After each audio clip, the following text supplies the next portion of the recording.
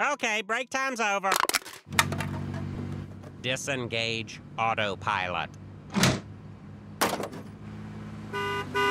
Woohoo! Skip day! I'm school. I'm homeschooled. This is a normal day. You hear that, Cleveland? It's skip day. Remember skip day?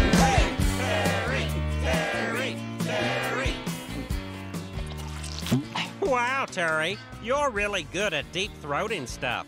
No wonder you're so popular with the ladies. Cleveland, you're up. Belly flop! Belly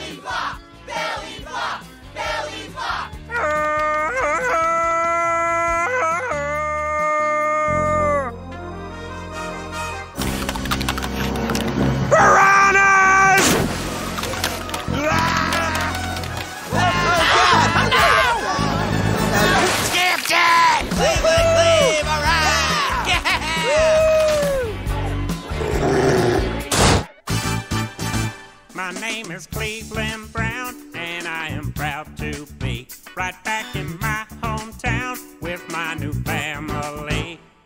There's old friends and new friends, and even a band. Through good times and bad times, it's true love we share. And so I found a place where everyone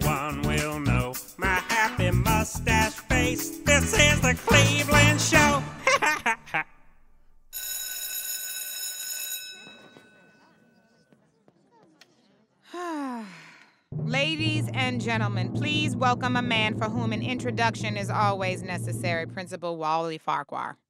Thank you, subordinate, and welcome, parents. I've called you all here today to witness the public scolding of each student who skipped school yesterday. They're all awful, awful children. Shame on you. Shame on you. Shame on you. Good shame for on you. you. Good shame for on you. Good shame for on you. And shame on you. There is one student who will avoid the wrath of the finger of shame. Oh, God. The only student in a quarter century to attend school on skip day, Cleveland Brown Jr. Why didn't you tell me Junior went to school yesterday? I wasn't here. It was skip day. Cleveland Brown Jr. will receive an award named after the last student to attend school on skip day, the Wallace Farquhar Award of Attendance Excellence, known internationally as the Farkey. This is Cleveland Brown Jr.'s first nomination and first win for his role as Brown Nosing Tool in Brown Nosing Tool Goes to School on Skip Day. I want to thank my daddy, all the teachers, and my alarm clock. You can go to bed now, Larry. wow.